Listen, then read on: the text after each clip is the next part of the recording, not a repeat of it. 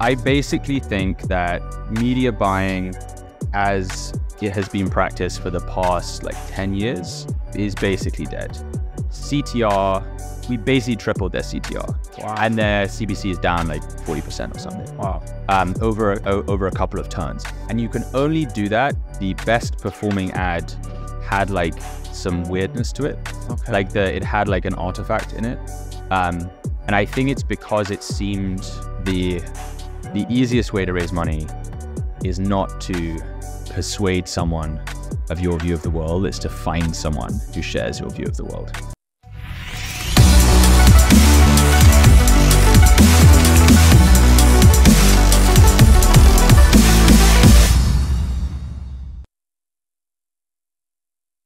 Welcome to episode 44 of New Money. That was perfect with the accent and everything. It like that. I like that. Awesome. Call you guys. So we got Matt Osman. The I, I didn't butcher that, right? No, that's good. That's Perfect. Thank you. Who uh who sounds a little South African but British. Yeah, but I, English. I've been here for like seven years, and then something happens where you're not quite, you haven't quite gone into like full American, but you still don't really sound like Prince Charles anymore. it's, this, it's like the Mark Ronson effect if you kind of have this weird transatlantic twang. So I sound like I'm from Johannesburg. There you go. Uh, this is gonna be fun. This so, is gonna be fun. so founder of uh Treely dot Tre- Treat.io. treat.io. treat.io. Try treat.io. Check it out. Incredible artificial intelligence tool that allows you to produce thousands, tens of thousands of image ad creatives in different variations, right? I don't want to explain it in a way that they're not going to be able to comprehend it. So is there a way you can explain it in a way that like a 10 year old would understand? Yes. I'm going to move this Yeah, okay, cool. to go. Um, we'll do like a, a smart 10 year old. Sure. okay. Like, not an idiot. yeah. Uh, yeah, so uh, the company's called Treat. Uh, yeah, the, the website is trytreat.io. Um, and we use generative AI to make unlimited ad creatives and specifically unlimited winning ad creatives. So the power of AI is not just in like creating these images from text, which obviously people have probably seen on like Twitter and, Mhm. and other places. It's actually knowing what are the images to create in the first place? Like, what are the things that are going to resonate with specific people? Um, so that could be like a different creative strategy for women versus men, or for different age groups, or for different SKUs. So what our AI does is like work out what images should I put in front of different audience segments that will have the highest likelihood of conversion, and then we can create unlimited panels and batches of those ads. So you reduce creative production costs to like zero, um, and you get to get back some of the performance that was lost, like when Apple did their iOS 14.5 Yeah. shenanigans, which I'm sure everyone Everyone, everyone, everyone's crying about that. So, so pretty much in a sense, you are have like the golden ticket to Facebook right now. Well, that's so we like to think so. So, like, I basically think that media buying, as it has been practiced for the past like 10 years, is basically dead. And that the way that agencies uh, have operated is going to just stop being viable. In fact, I think that it's quite possible that AI completely kills agencies. Um, or that any agencies who are left are going to have to basically completely retool the way that they're they're constructed because the alpha from like media buying uh, is basically completely gone away. Because if you think about the history of what happened post iOS 14.5, like ATT, was that all of the ad networks, and I'm really thinking about Meta here, um, they took what happened and the way that they reacted was to say, well, the only way we can solve this problem is to basically take the controls away from the marketer. So like Advantage Plus on Meta and like PMax on Yeah. Google are these like automated campaign tools that are basically doing all of the targeting that you would normally pay a media buyer to do. The only input left where you can get like really high leverage and do targeting actually is in creative selection, which means you need to be able to create loads and loads of creative all the time, uh, refresh it because it obviously gets stale. You need to have different creative for different audiences, different creative for different SKUs. And like the production cost of doing that manually would be like crippling. And so AI is the thing that's going to come and save the day. That's what we think anyway. That's what we Yeah, that's what that's we're a betting on. That's like a great explanation. So instead of paying a thousand dollars for a photographer to have to go to some beach somewhere to put a different background or overlay or create a different environment for an image, you guys can just kind of whip that up through a couple of inputs. Exactly. And we can do one thing, you know, one one step better, which is that uh, okay, so our our tool will tell you, hey, we think this product would convert really well if it was shot on the beach. Oh, Okay. wow. So we make a recommendation. So instead of having to like learn what prompt or learn like prompt engineering, which kind of sucks, we'll tell you, hey, we think it should be on the beach. And then obviously, like, what kind of beach? Well, Oh, uh, we will create 10 different beaches for you. So we'll have like a, like a you know, Cape Cod beach, we'll have like a Hawaiian beach, a Caribbean beach, push all those into Advantage Plus, for example, see which one hits. You go like, it's the Hawaiian one. Okay, we're going to double down on that. We're going to scale that image. We're going to take that to the UGC team. We're going to find an influencer who's on like, you know, the big island who could like Yeah. do an unboxing video on the beach for us. So it's about not just like this unlimited creative production, but you can basically use it for like unbelievably rapid like experimentation and concept testing. Um, and that's where I think it gets like super powerful. I, I'm curious. So, like, you say also, so you're saying like creative is pushing targeting right now because like there really is no more targeting. It's just like broad audience, and your creative creates targeting. Now, how does like the platform, the AI, help push to a target? Right. So, like, give me the example of the beach. Like, what does that do now? So yeah, so this is a this is a okay. So we're gonna explain like they're a twelve year old now. They're they're now like a smart. so um, yeah, what we spent a lot of time building was something that can like understand the like click behavior of various demographics. So you can go into our tool and say, I want to target, um, let's say, women 18 to 25, and we'll say, okay, it needs to be at the beach. Here are some example beach images. And you can then say, okay, no, I want to target men 35 to 44 who live in California. And we'll say, okay, it needs to be in the forest, for example. I'm obviously making up these examples. Um, and so we built something that allows you to basically do like lookalike creative, where you can do the targeting at the point of creative production. And it's so cheap to like images are becoming disposable, basically, which means you can just try a bunch of shit Yeah. really, really, really fast without having to invest a bunch of time and money on a photo shoot every time you want to try this stuff. Interesting. And this fully integrates with like Shopify and everything. Yeah, too, and, exactly. like Facebook ads. And Yeah, that, so it integrates with Shopify, Facebook ads, Google ads, GA, etc. I, I like the fact that it diagnoses the problem and also si- solves the problem because we were even talking about it yesterday.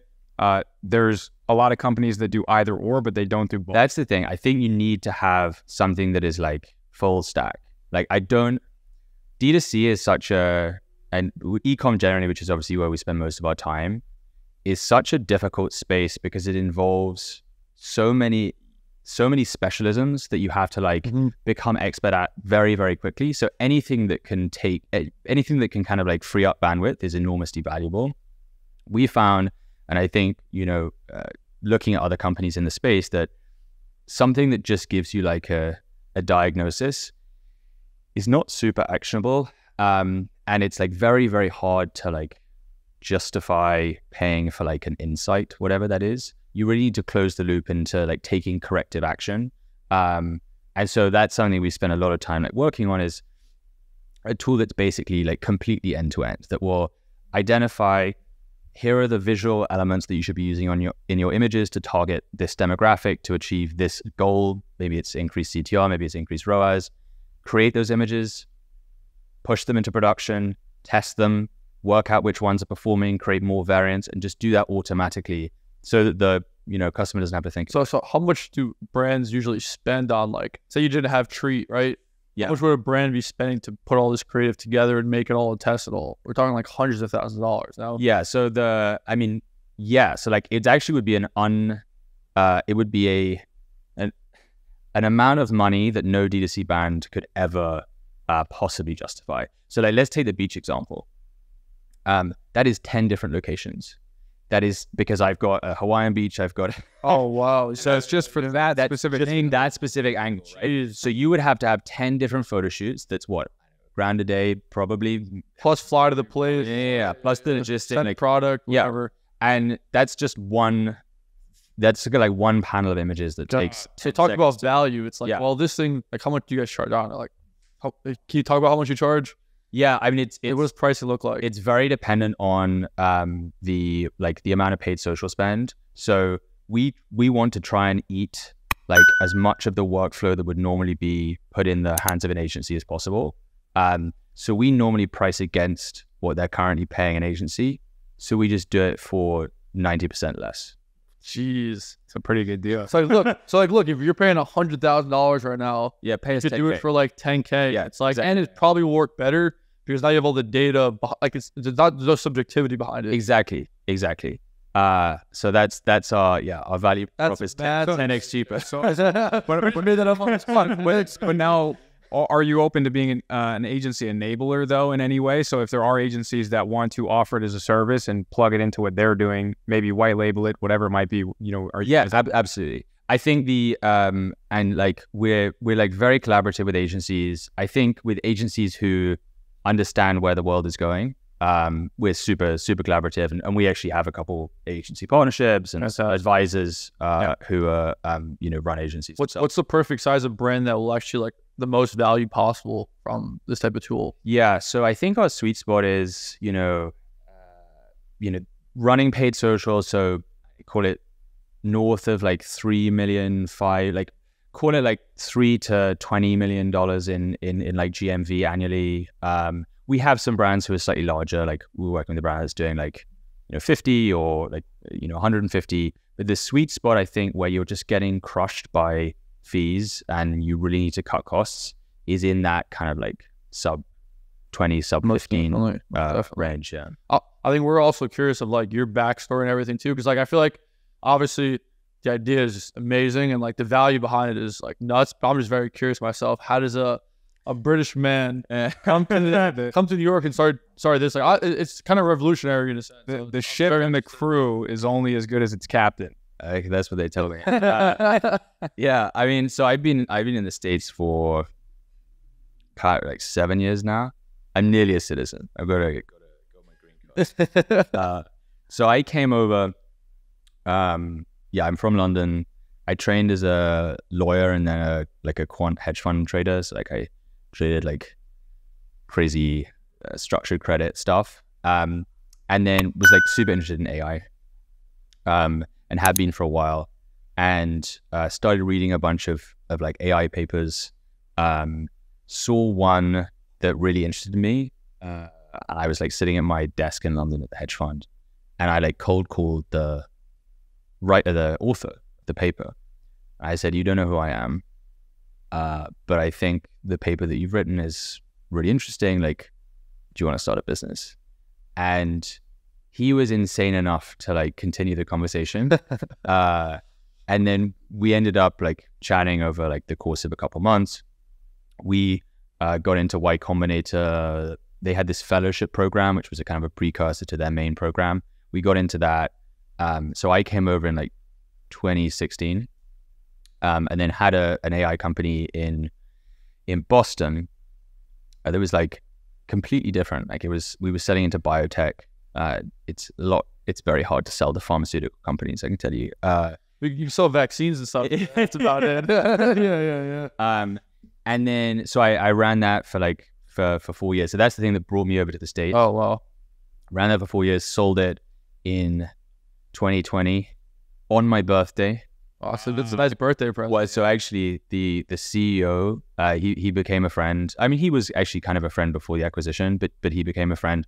Uh, the lawyers were like holding up the paperwork, and I asked him as a favor, like, can you please just get them to get over the line so I can sign it before my birthday. And he did, and we signed it on my uh, on my birthday. Um, so and then I was you know working at that company for a while, and then uh, met my co-founder and, and kind of came up with the idea for this. Um, moved to New York in like 2021, um, in the middle of the pandemic.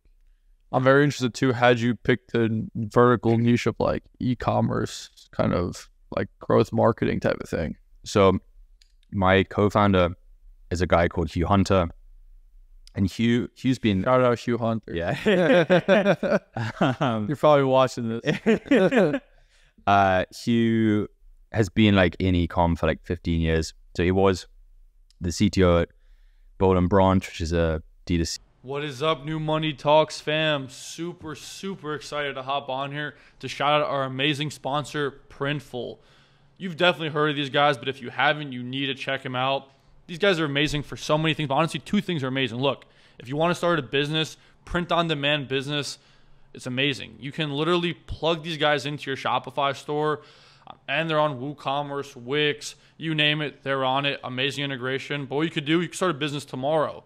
Any logo, any design you want on a hat, on a shirt, shorts, joggers, backpacks, mugs, you can make it and not have any inventory. You can dropship it all from Printful. They're amazing. That's number one.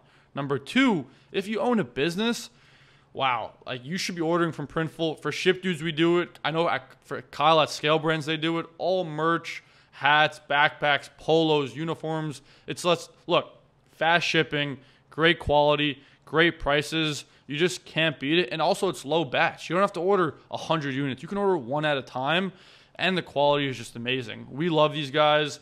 You should check them out. We have our link in description slash NMT. Use the link. We appreciate it. Helps out a whole bunch. And honestly, Printful, there's no one better in the space. So if you need merch, we're about to have some new money talks merch. They're amazing. Printful is the way to go. Check them out. Printful. If you don't know them, you should know them now. New Money Talks fam, I'm telling you, you guys are the best in the space. Anyways, back to the episode. Appreciate you guys. The Bed Linen Company, a competitor to Parachute and Brooklinen, although they'd probably say that Brooklinen's a competitor to them, whatever. um, and but then he was most recently the CTO at Drizly, um, and uh, so he, he was there, built up their engineering team that sold to Uber for like a, a billion Wow. and a bit. Casual. Just Yeah. ca- casual billion. Yeah. yeah. I think 1.2. Uh, and I was introduced to him by like an investor friend that we shared. Um, and I was looking for my next thing, wasn't sure what it was going to be in. Um, we just really gelled uh, as like a as like a duo, um, and so we decided that like he either needed to do something in my space, which was kind of biotech, or I was going to do something in his, and it was probably a lot easier to do something in in his than to go back into biotech. Um, so we then kind of started thinking about like what yeah wh- what are the implications of of like privacy and iOS 14.5 and like we kind of saw two main opportunities one of which we discarded. And the the first opportunity was okay well um like attributions now completely balked uh like on platform attribution so people would probably pay for a solution that allows them to like get visibility into attribution. And you saw like Triple Whale and Northbeam like roughly at the same time be Yeah. founded. And then Rockerbox had been around maybe three or four years. No one talks about Hyros. It's kind of you know Hyros. Are you familiar? No. That's crazy. They sold for a hundred million dollars. What? Yeah, yeah, yeah. So, ooh. Have you ever heard of Alex Becker? Oh yeah, yeah, yeah. really? Yeah. Everyone says hi, like Hyro and Triple Whale, like Hyros is like fucking huge. Yeah. It's kind of crazy. No, like because like he was more focused on like the drop shipping world, where whereas like kind of just like like affiliate marketing world. Yeah. No one like everyone really else. serving like the He wasn't D2C serving like the. D2C brands. But they but uh, they slowly crept in and they saw what was going well, because he was you know? plugging things something into like Facebook, just made it work better. So everyone's just like, "Whoa, what are But you he was a, he was a killer marketer. So like the product is probably the same. I mean, I've used both, you know, that Triple Whale North Beam. They're all kind of fundamentally the same, but the way that he marketed it was just incredible. Yeah. He, I remember like he used to run this Facebook, uh, YouTube ad that just a killer. He'd be like with a mic like this, staring at you, be like, "Do you want your Facebook ads to perform like a hundred times better? Plug this in right now." Or like we can guarantee you 80% cheaper ad costs. Honestly, that'd be a good ad for Tree right there. We should yeah, I should do You should do something like that. Yeah, yeah. I see, yeah, yeah, yeah. Um If you want your creative to go a lot more better, be a lot more cheaper. Be 80% more efficient. You should check him out, Alex Becker. Legit, Yeah, yeah. definitely legit guy in space. Yeah, they sold for 100 million. Yeah. wow. I I don't know who I don't know how we got to that have point, to- but sorry for cutting you off. No, no, is that there's is that the same we sorry, one of our advisors is a guy called Alex Becker. I is it the same guy? It's gonna be really embarrassing if he sees this. Uh, I know why. I like He's, so he's he's now uh, Get him on the pond. is he now uh, he's now as the our Alex Becker is now a CMO at uh, a, a mu- like a weed company, like a marijuana company. no, I, Different one. I don't think so. Okay. Does you does your Alex Becker have like 500,000 subscribers on YouTube or millions? No, Okay, so it's a different, different one. Okay, cool. Then uh, then I apologize. I All right. Yeah, yeah. Not Alex Becker. Uh, So yeah, anyway, that was like that was one of the opportunities. But then what we saw was going to happen was like if the people who really have an incentive to like solve attribution are the people who have like hundreds of billions of dollars of market cap at stake. So Meta in particular has spent honestly tens of millions, if not now hundreds of millions of dollars trying to like fill in the gaps uh, that um, have been caused by the, the the Apple policy. And so what we thought would happen is exactly what did happen, which is that they would try and take the controls away uh, from uh, from media buyers generally, and they would leave creative as the kind of the last opportunity. And then obviously at the same time, all this like DALL-E, generative AI, stable diffusion stuff was happening, and so we kind of combined the two. That's a great like assumption in a sense. yeah, yeah, we could have been really wrong. Yeah, seriously, that's a great assumption because it's like you are right. Like they lost all access to the data, so you're like, well, hundreds of billions of dollars is like or trillions of dollars is like based on the fact that they can do what they do, like target well. Yeah, It's like they're gonna fix that. Yeah, yeah, yeah. something. Yeah. yeah. Uh, they're like highly incentivized to do so. It's like it, it would be a bad idea to bet against them. One hundred percent. because they've got so much at stake and they have like i mean thousands tens of thousands of machine learning engineers and the rest of it anyways that's how we came up with the idea So so you guys have a ton of competitors, I'm assuming. Yes. So how does Treat differentiate itself from all of its competitors? yeah okay great He gets asked this all the time. Yeah, oh, let me yeah, know this. He has to go. so short, get ready. He makes sure you got this. okay so i think that every other company i've seen in this space uh, makes like two main errors when it comes to like what is the purpose of an image for a marketer and the purpose of an image is not just to look pretty uh, there are obviously a baseline levels of quality and baseline levels of kind of like adherence to brand but what you're looking for is a, an image that performs and up until this point, too much of how to create an image that performs is based on like intuition, guesswork, fucking witchcraft. Um, and so nearly all of the tools that, that that I'm aware of that we've seen um, basically don't give any intelligence to the user about what images to create. So you can go into a tool and say, hey, I would like to see this product on the beach. But why the beach? Why not the moon? Why why not like, you know, the kitchen counter? It's the intelligence of like knowing what images are going to perform with which audiences. That's like a very, very critical piece. It was really hard to build. And as far as I'm aware, we're the only ones to have successfully built it. So I think that's an important piece because otherwise it just adds work for the marketer. Like I'm I'm trying to do a million other things. I'm managing like influencers. I'm also doing budget stuff. I'm responding to the CEO. If I'm a founder and also CMO, I'm also responsible for like managing 3PLs and doing a bunch of and fundraising and stuff. Like we want to take as much work off the plate of the user as possible and help them with the job to be done. And the job to be done is to create images that will generate sales. So we're exclusively focused on generating like winning content, specifically ad creative. Um, the other thing is that all of these images that are created by like other tools, the kind of the model of the world they have is I give you one text description and I end up with one image at the end. Um, but really, what you need to be able to do is to generate like large batches of images that you can just test really rapidly. Like, so to go back to that like beach example, um, yeah, I, I really need to be able to generate like 10 different versions of the 10 different versions of the beach. So like I'll give you an example working with a, a mushroom coffee company. We took we basically looked at all of their performance data. We worked out, okay, we think that there's going to be a split between images where your coffee is in an indoor setting and an outdoor setting. So we generated 10 images, half indoor, half outdoor. Indoor one significantly. Um, and then we went, okay, in an indoor setting, we think there needs to be wood in the shot. So we created like a bunch of different wooden tables. And then one of those kind of like spiked. So then we said, okay, now we think that plants, like we think like an indoor plant like that, uh, next to the coffee is going to really perform. And so everybody Wizardry. created like Wizardry. 10 of those.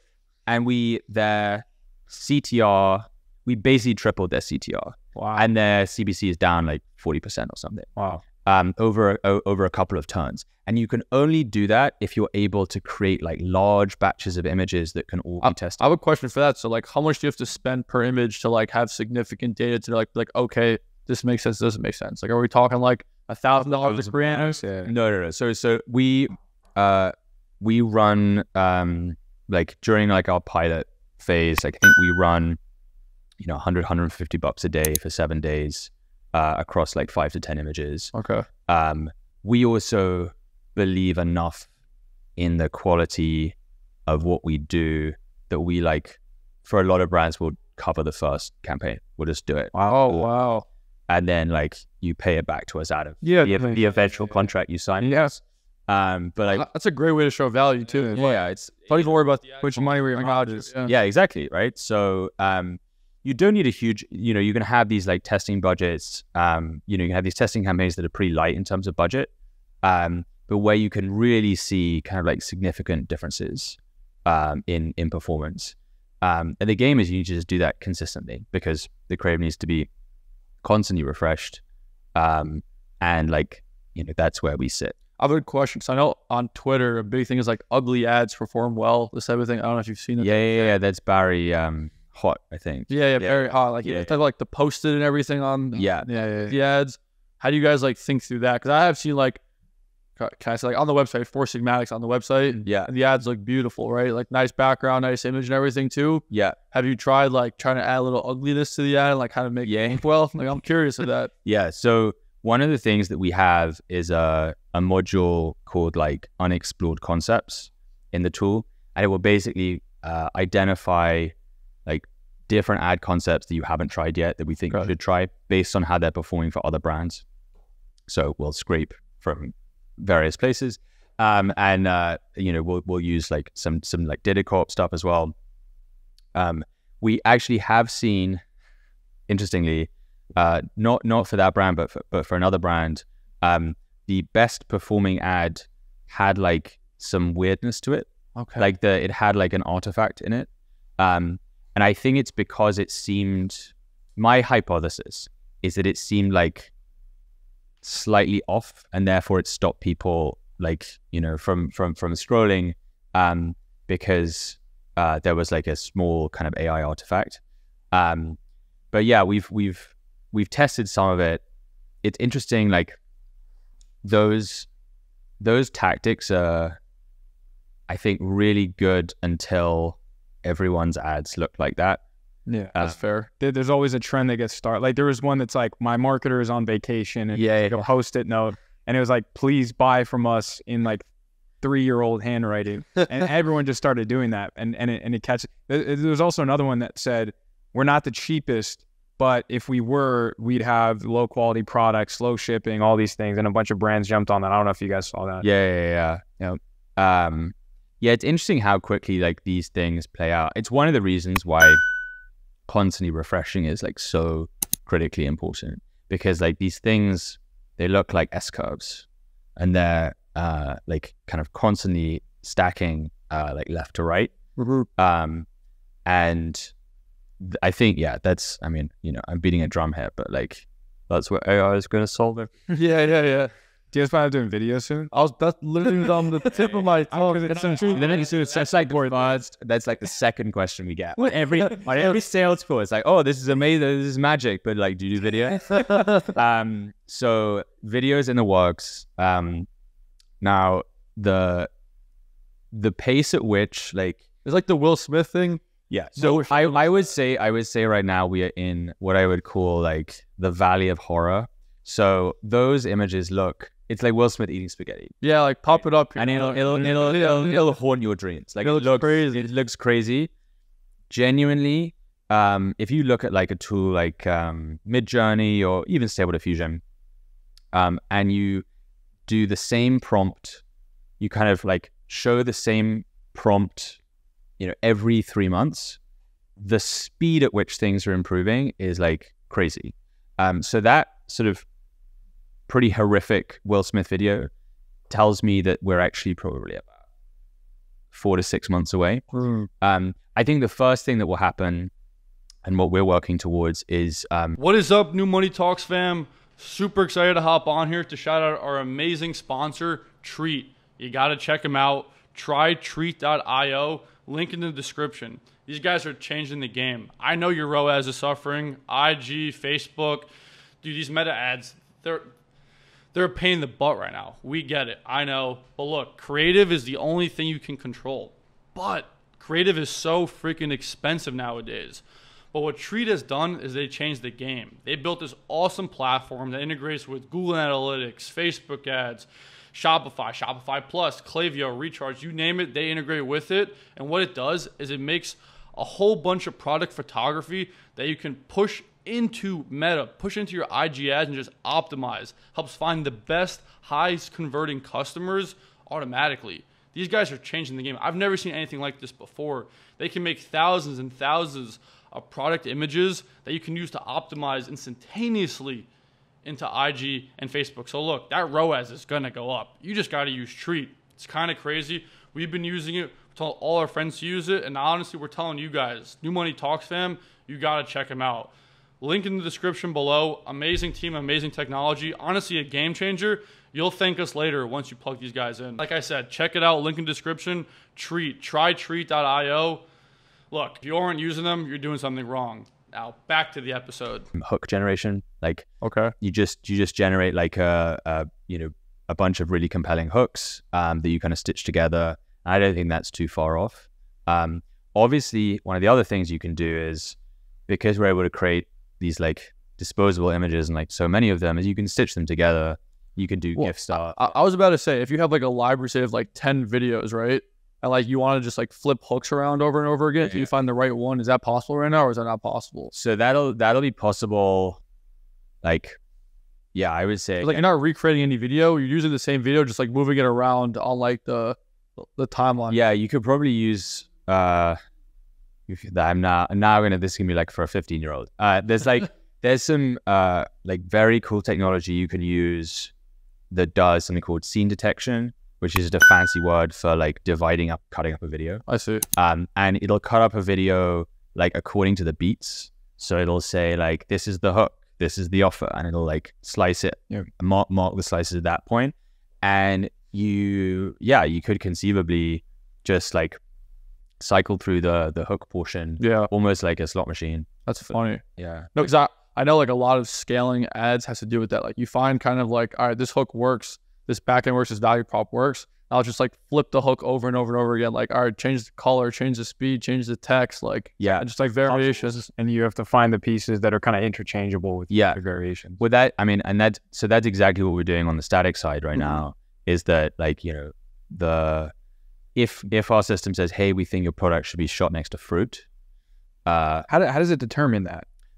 great question. So um, either so we do two things. We look at like every ad you've ever run, um, and we pull out like, hey, are there shots? You know, do shots that have fruit in them lead to a higher CTR? We'll also look at uh, brands that we think are like similar in terms of the demographics they sell to, like to the customers they sell to, and see like you know are they running like flavor Q ads where like it's a you know banana milkshake and they have the banana next to the milkshake, right? Um, and so we we kind of use that as part of the the recommendation tool.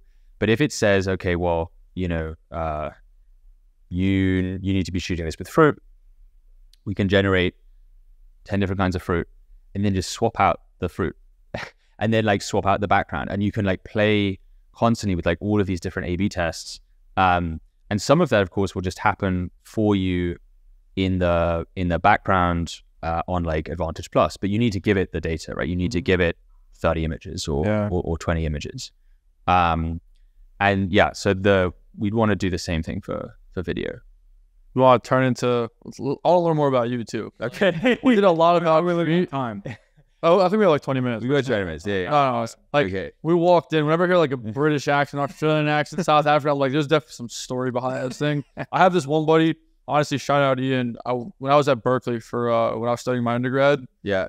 this guy started a um, it was like a I don't even know what. He, it was like a biotech company. Yeah. They were pretty much trying to like get your brain waves to like do something like with your memory. He raised like 15 million dollars like this. Yeah. It was the accent that just helped him raise all the goddamn money. that accent helps. And And then he like built some like pretty insane stuff. So whenever I find people in America who are entrepreneurs with those accent, I'm like, there's some story behind you. I don't know what is, but we're gonna get Oh, competitive advantage. little competitive Yeah, yeah, advantage. I mean, you've got to you've got to find uh, an advantage somewhere. Like the British accent helps a surprising amount. It does, right? But, like you just sound smarter. Yeah, I'm not. Um, yeah, uh, it's uh, like it's a, such a strange because I I've, I have a bunch of friends who you know still in the UK, and it's a culture that is like so allergic to failure. Mm. the thing that I found like deeply liberating about the US and the thing that made me want to stay and the reason I have stayed is is that like entrepreneurial culture. Like if I have at least 10 friends who if they'd been born in the US would all be founders. But instead they're not. They're lawyers, they're doctors, they're bankers, like they're doing well, it's great, but like very safe kind of professions because they're also like culturally afraid of failure. They're afraid of the like uh the you know the the the shame of of of, of You don't care about failure. Do you even think about it?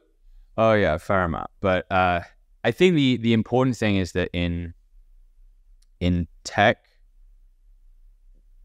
what again is like particularly special about like technology is that um if you have a company and it fails but you did your best and you didn't commit fraud someone will back you again.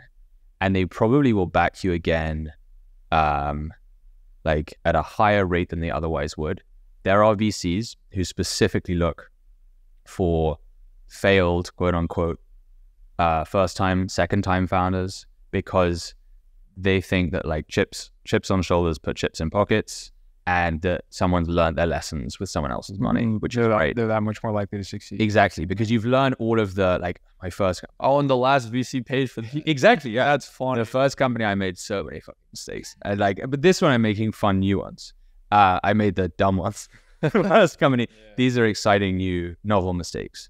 Um, and so that like that was a huge shift coming to the states from the UK because like it's it's almost like having a scarlet letter or something if you have a failed business in. Are you are you okay chatting about like raising all the money and you said Greylock, right? Yeah, yeah, yeah. Greylock's like Reid Hoffman's fun, right? That's that's You know who Reid Hoffman is, right? Founder of LinkedIn. Oh, wow. Yeah, like PayPal Mafia, like the whole Yeah. nine. Yeah. Yeah, yeah. So how'd that come about? If you want to chat about it. Yeah. Uh, so we were, let me see. So we were raising our, our we raised a pre-seed round, um, you know, led by a, a great fund called ENIAC and, a, and another great Yeah, fund Ventures. Yeah. I, know that. and uh, Solid fun too. yeah, it's a lot of fun. And then Vinyl, uh, who's uh, this ecom specific, ecom enablement specific fund run by a guy called TJ Mahoney, who was great, who introduced me to my co-founder. He was the guy who made the connection. And so we would we were raising our seed round, and like a the only piece of advice that I could give to someone like looking to work out how how to fundraise and whether fundraising is going well is that it has to feel almost like intoxicating when you talk to the partner of the VC fund. It's almost, it's obviously not romantic, but it almost feels like a kind of date. And you can sense when the other person is like really into you. And by you, you I mean that, you know, your company. And so Mike Duboe uh, at Greylock had been the head of growth at Stitch Fix. So he kind of experienced the problems we were trying to solve, like as an operator. I think he'd been at Greylock for maybe two or three years at that point, and had made. He's a he was an investor in Postscript. He's on the board Mhm. there, um, so he kind of knows the ecom space like very very well. And I think we met on a Friday afternoon, and I'd had like loads of these calls, right? I was I got nose left and right. yeah, well, we we didn't get we had some no's, like we had some like people who who didn't quite get it. Um and then I had it was a call at like 4 p.m. Eastern. And I don't like doing Friday afternoon calls because people I people either cancel and like no, they don't really bring their A game. But for some reason I took this call.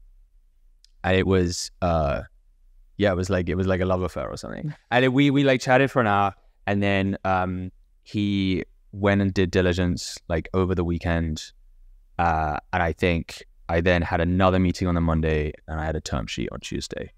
Uh, and it was just something that he'd. I can't. Remember, I don't know if we were recording this, but um, I think I might have said to this to you before. But like, the the easiest way to raise money is not to persuade someone of your view of the world. It's to find someone who shares your view of the world. And Mike had a, and still does, I hope, uh, had like a thesis around like what we were trying to build that he'd kind of come up with independently. And so, you know, when when we chatted, it was a little bit like looking in a mirror. So like the whole like no, you ever seen the show Silicon Valley? Yeah. So like the whole thing of like pitch deck, this, that, and the third. Did you have all that? Did you have to do all that? Did you So yeah, I did. I mean, a Silicon Valley, by the way, I can't watch because it's too close to real life. It's like it's too painful.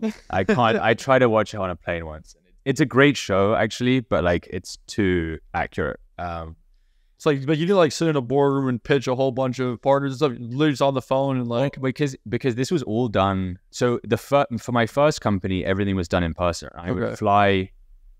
I was like twenty four or something, and I I would fly to um, uh, you know Menlo Park. And the thing they don't tell you about Silicon Valley is it's like a very unimpressive place. Like Oh, just, just geographically, it's just like low slum buildings, and it like looks like Greenpoint, but like sunnier.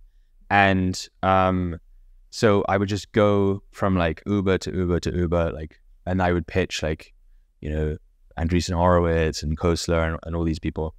Um, and then this the second company was during COVID, so it was just back to back Zoom meetings. oh wow. Um, just constantly getting on, getting on Zooms.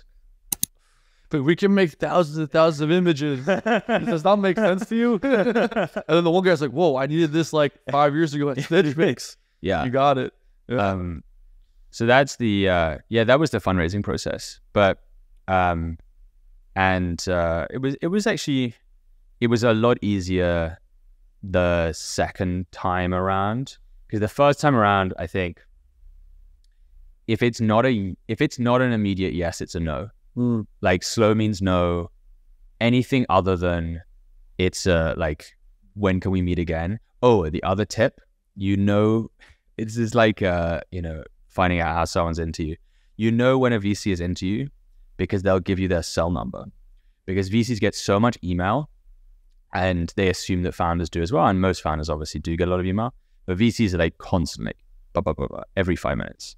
And so when they give you their cell number, it's because they want to be able to like get in contact with you like very, very quickly. So Oh. the mm. second, the second that they like exchange cell numbers with you, you know, it's, That's his tip for life. yeah, it's a tip for life. Yeah. yeah, yeah. Geez.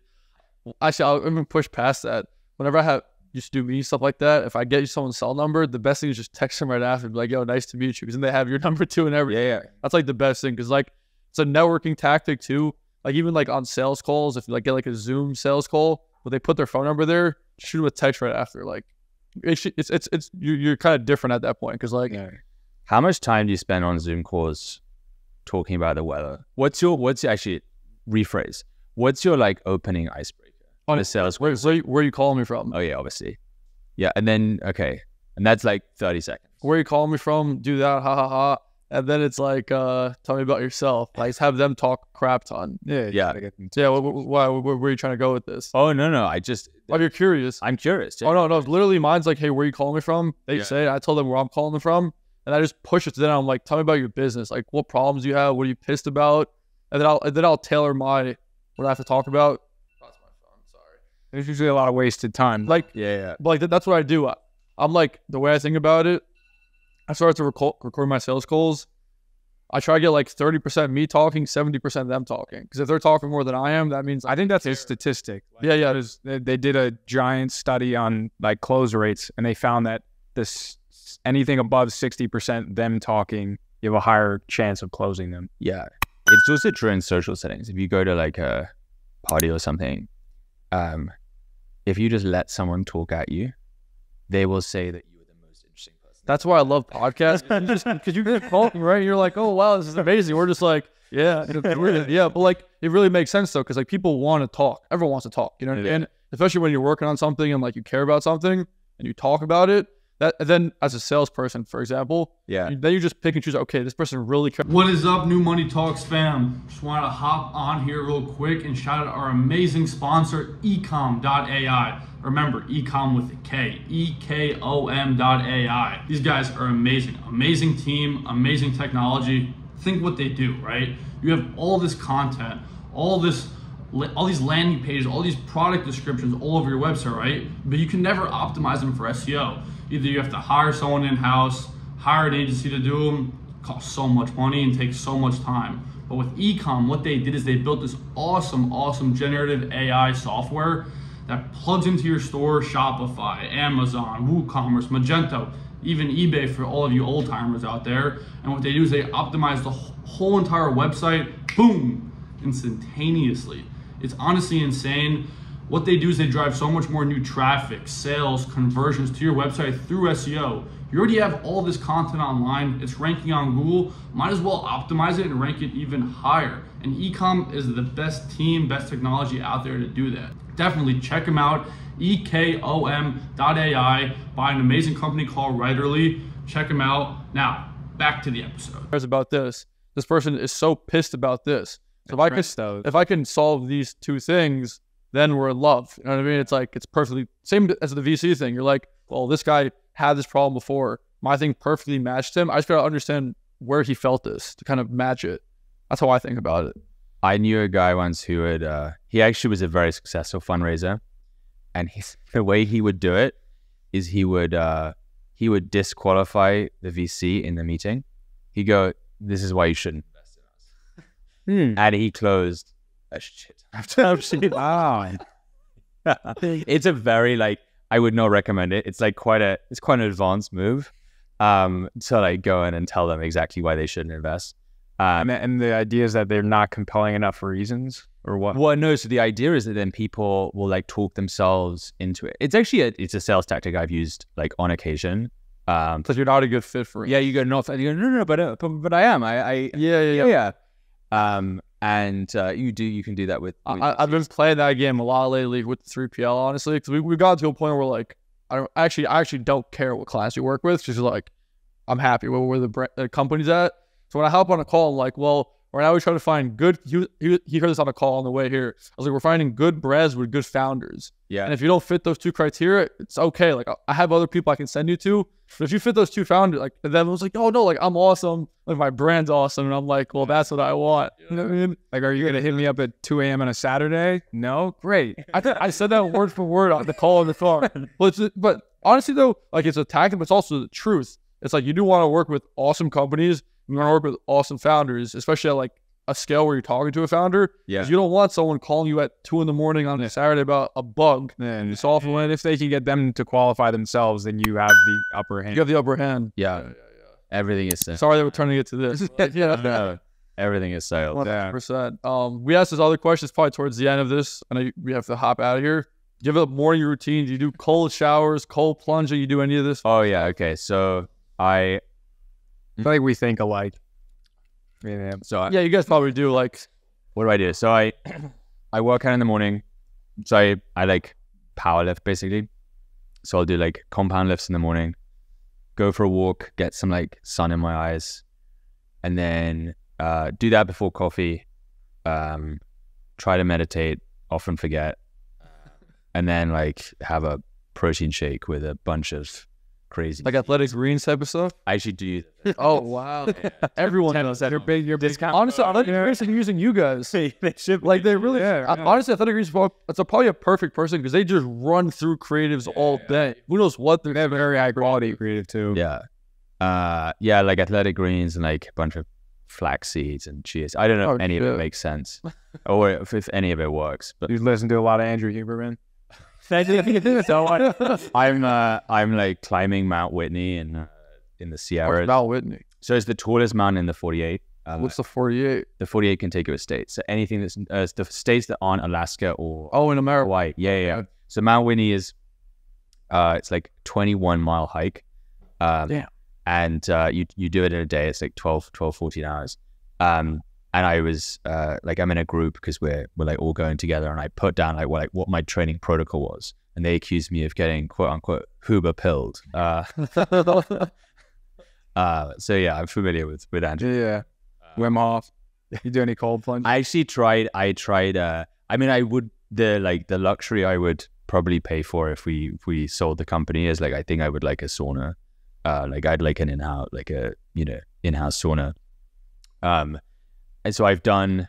There's an amazing place in Fulton Street in the financial district called the Russian Baths. I think they've changed the name, but it, it used to be called the Russian Baths, or it was like the Wall Street Baths and Spa. And they have this banya, so this Russian sauna, and it is definitely not up to code.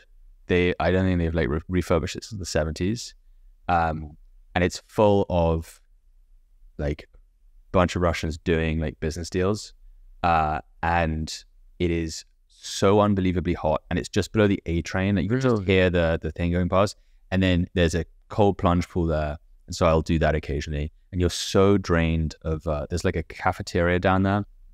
They serve Russian food, and I have a friend who's Russian, and she said it's like the best Russian food in the city, and the reason is you've like lost all of your salts and like minerals. stuff. anything- everything tastes delicious. everything You just go, oh, give me, give me some dumplings, give me some borscht. That's crazy. That's funny. Where's this place off Fulton Street? Yeah, it's 88. It's called like the Wall Street Baths now. Uh, yeah, it's on um, it's on Fulton Street. That's interesting. No, he asked us because like obviously like health and wellness and cold plunging is like a big thing right now. So like he just bought a cold plunge five thousand dollars. Like he loves telling everyone that. So I did get It was forty three hundred. Five Thank you. We're not, let's not give him a shout out unless they sponsor. Yeah. so I did get an eight sleep. Actually, that's the thing I would. That has probably of all of the things that I have bought recently, improved my like quality of being. That's awesome. That it's actually the thing that I miss when I travel. Hundred percent. It's like not having the eight sleep. Wow. Um, Even with the subscription, yeah, that's crazy. Like They- you know, the Oura Ring does it, they do it, everybody does it. yeah. Uh, everyone, everything like ends up as subscription. no, this, this was awesome. I don't.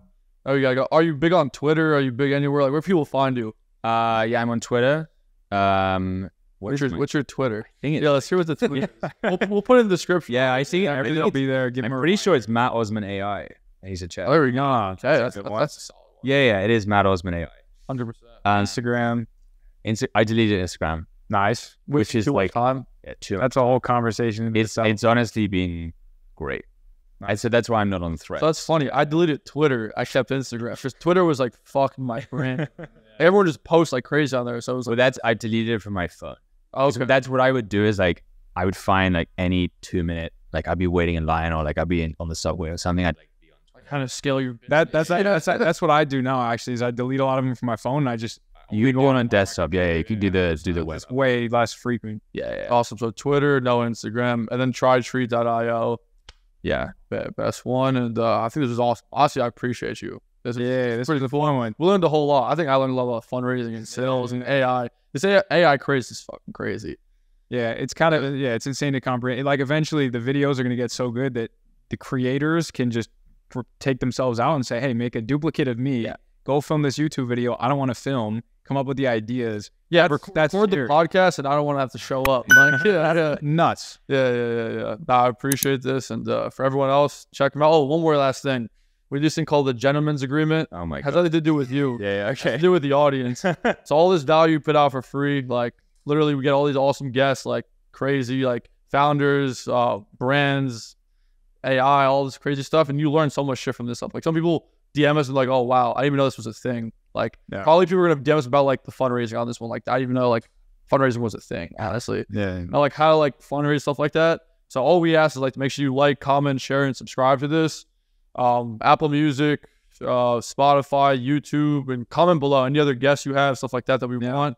Bring them on and check them out. They're all Yeah, check out trytreat.io. Tell them when he talks send you. oh, 100 percent. Yeah. yeah. Anyways, catch you guys on the next. Say next one.